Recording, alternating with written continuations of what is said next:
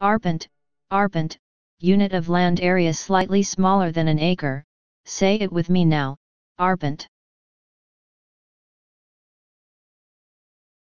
Please subscribe and thanks for watching.